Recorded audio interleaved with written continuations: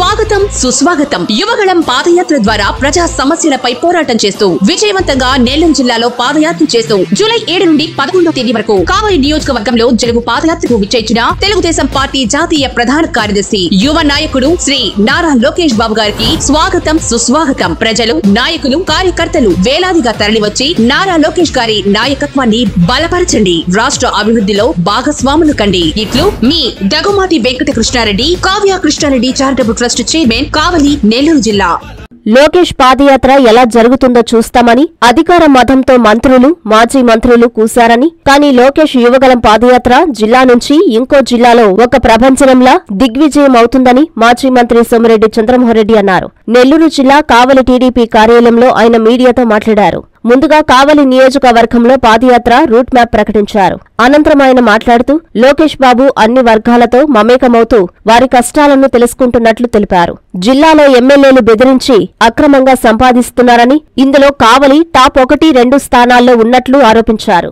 MLA Pratap Kumar Reddy దోపిడీ ఇక్కడి సుకుమార్ రెడ్డిని అడిగితే చెబుతారని తెలిపారు. కావలిలో దుగ్గిరాల కరుణాకర్ ఆత్మహత్య చేసుకుంటే వారి కుటుంబానికి లోకేష్ అండగా నిలిచారన్నారు. అందుకు బహుమతిగా తనపై లోకేష్ బీదా రవిచంద్ర మాలిపాటి సుబ్బనాయుడుపై పోలీసులు కేసు నమోదు చేశారన్నారు. ముద్దాయిలను అరెస్టు చేసినందుకు సీఐను బదిలీ చేశారన్నారు. ముద్దాయిలను శిక్షించే పోలీసులకు ఈ ప్రభుత్వంలో రక్షణ లేదన్నారు. రానున్నది టీడీపీ ప్రభుత్వమే అని తప్పు చేసేవారిని ఎవరిని వదిలే ప్రసక్తి లేదని తేల్చి చెప్పారు. ఈ కార్యక్రమంలో కావలి టీడీపీ ఇన్ఛార్జి మాలిపాటి సుబ్బనాయుడు మాజీ ఎమ్మెల్యే కంభం విజయరామిరెడ్డి టీడీపీ నాయకులు పాల్గొన్నారు.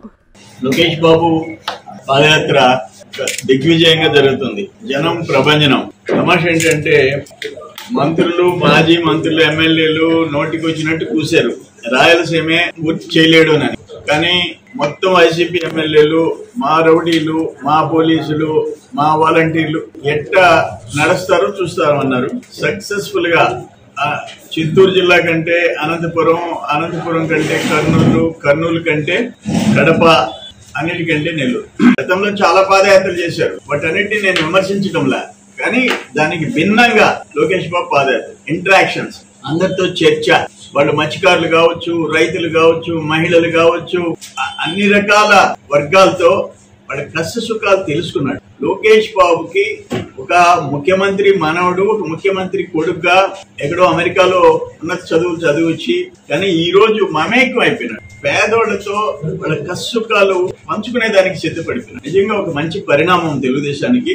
ఎన్టీఆర్ మనవడు అనిపించుకున్నాడు బాబు గారి కుమారుడు అనిపించుకున్నాడు రాజకీయ వారసుడు అనిపించుకున్నాడు దాంట్లో డౌట్లే కానీ అయితే ఇంకొకటి సంతోషం ఏంటంటే ఎక్కడ పోతే ఎవరు అవినీతి చేశారో వాళ్ళని ఉతికాడు పారేస్తున్నారు నాలుగైదు నియోజకవర్గాల్లో ఎమ్మెల్యేలు మంత్రులు బరితెగించి సంపాదిస్తున్నారు.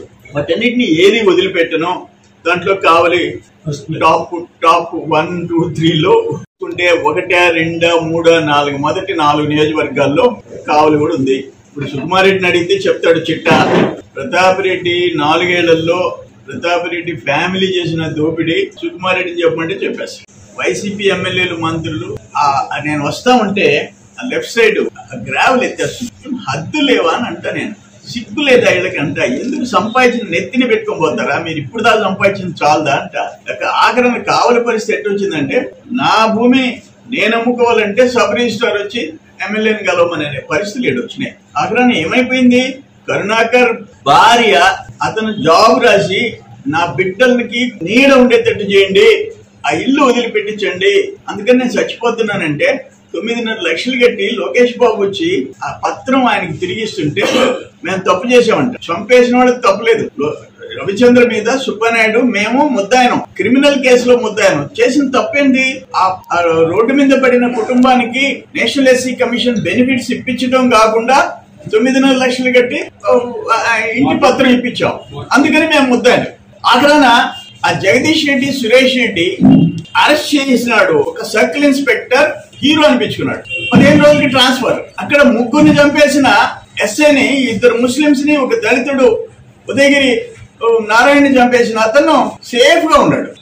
ఆయన మండలాల్లో మంత్రి మండలాల్లో కొనసాగుతా ఉన్నాడు. అంటే ఎవరైతే ముద్దాయిల్ని టచ్ చేస్తారో వాళ్ళకి ఆ పోలీసుకి సేఫ్టీ లేదు ఈ ప్రభుత్వంలో. స్వాగతం సుస్వాగతం. యువగళం పాదయాత్ర ద్వారా ప్రజా సమస్యలపై పోరాటం చేస్తూ విజయవంతంగా నెల్లూరు జిల్లాలో పాదయాత్ర చేస్తూ జూలై ఏడు నుండి పదకొండో తేదీ వరకు కావలి నియోజకవర్గంలో జరుగు పాదయాత్రకు విచ్చేసిన తెలుగుదేశం పార్టీ జాతీయ ప్రధాన కార్యదర్శి యువ నాయకుడు శ్రీ నారా లోకేష్ బాబు గారికి స్వాగతం సుస్వాగతం. ప్రజలు నాయకులు కార్యకర్తలు వేలాదిగా తరలివచ్చి నారా లోకేష్ గారి నాయకత్వాన్ని బలపరచండి. రాష్ట్ర అభివృద్ధిలో భాగస్వాములు కండి. ఇట్లు మీ Dagumati Venkata Krishna Reddy Kavya Krishna Reddy charitable trust chairman Kavali Nellore జిల్లా.